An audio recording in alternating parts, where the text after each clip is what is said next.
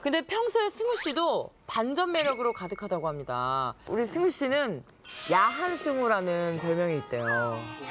야승. 일단 뭐 위를 안 입었네.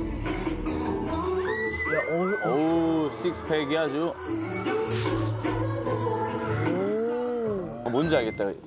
살짝 살짝 보이는 복근이 섹시하네. 그럼 공개 가능하겠네요. 공개요? 아 한번. Let's get it. 진짜요?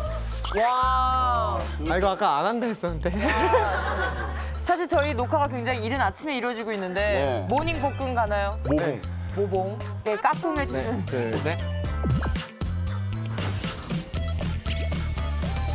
둘 셋. 까꿍, 까꿍.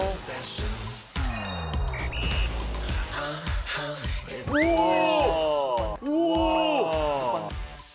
니왜 그거를 창피해서 완 완벽한데 제가 봤을 때는.